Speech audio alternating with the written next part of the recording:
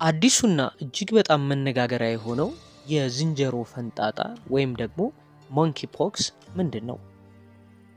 ይህ ወረርሽኝ ወይም pandemic በመባል ይጠራል። ወረርሽኝ ወይም pandemic ማለት በቀላሉ ከሰው ወደ ሰው የሚተላለፍና በአንድ ጊዜ ብዙ ሰዎችን የሚያዳርስ የበሽታ አይነት ወረርሽኝ ወይም pandemic ይባላል። የዝንጀሮ ፈንጣጣ በሽታም በአጭር ጊዜ ውስጥ ብዙ ሰዎችን ሊያዳርስ የሚችል በመሆኑ የዝንጀሮ ፈንጣጣ እንደ ወረርሽኝ ተከስቷል ተብሎ እየተነገረ ነው።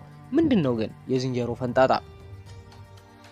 ባለፈው ሳምንት እንደ ወረርሽኝ መላው አውሮፓን፣ ካናዳን እንዲሁም ደግሞ አሜሪካን ያዳረሰ ነው ይህ ወረርሽኝ። ለመሆኑ መንኪ ፖክስ መነሻው ወይም መተላለፊያ መንገዶች እንዲሁም ደግሞ መከላከያው ምንድን ነው የሚለውን እንመለከታለን።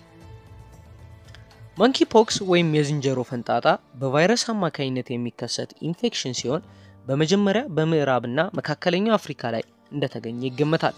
ነገር ግን በ2022 ዓ.ም አብዛኞቹ የአውሮፓና የአሜሪካ ሀገራትን በማዳረስ ላይ ይገኛል።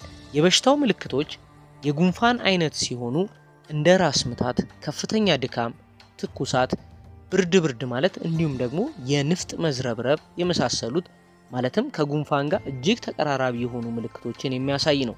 እንዲሁም ደግሞ እነዚህ ምልክቶች ከታዩ ከቀናት በኋላ ደግሞ የሚታይ የሰውነት መቁሰል ያስከትላል። እነዚህ ህመም ያላቸው ቁስሎች አብዛኛውን የሰውነት ክፍል የሚያጠቁ ወይም የሚሞሉ ወይም የሚያዳርሱ ሲሆኑ በሽታው ካለፈ በኋላም ጠባሳዎችን ይጥላሉ ወይም ጠባሳዎቹ አይጠፉም። ይሄ የሚሆነው እንግዲህ በህይወት ከቆየን ወይም ካልሞትን ነው ማለት ነው።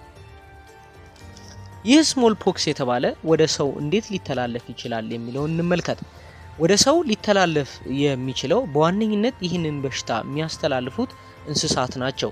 በተለይ ከሰው ልጆች ጋር ንክኪ ያላቸው እንደ ጦጣ፣ ዝንጀሮ፣ አይጥ፣ ፋሮ የመሳሰሉ እንስሳዎች ለመተላለፊያው እንደ አንድ መንገድ ይቆጠራሉ።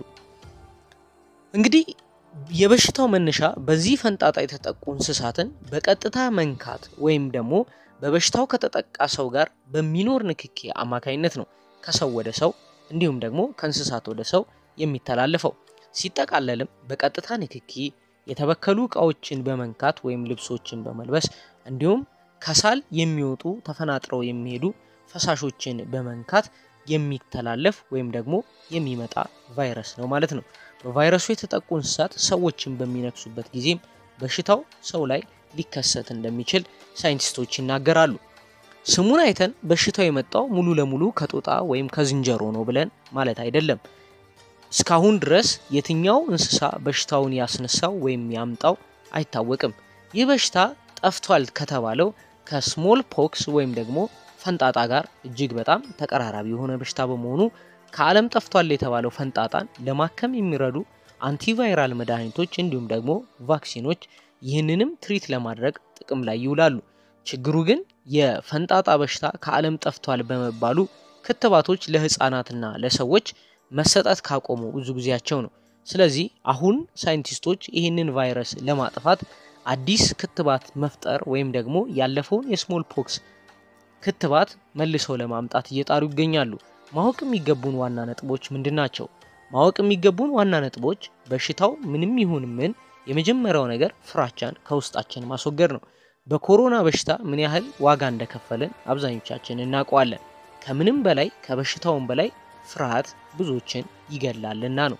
ስለዚህ ከፍርሃት ባለፈ ተገቢውን ጥንቃቄ በማድረግና ራሳችንን በመጠበቅ እንዲሁም ደግሞ ወዳጆቻችንን፣ ቤተሰቦቻችንን በመጠበቅ ከተከሰተም ደግሞ በአፋጣኝ ወደ ሕክምና ተቋም በመሄድና ተገቢውን ክትትል በማድረግ ራሳችንን መጠበቅ እንጂ ካላስፈላጊ አሉባልታዎችና ፍርሃት ራሳችንን መጠበቅ ያስፈልጋል።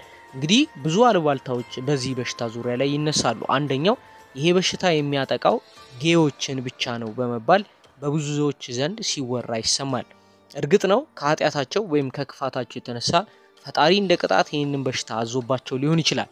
ነገር ግን መረዳት የሚገባን ለኃጢአት የመጣ ለጻድቃንም ይተርፋልና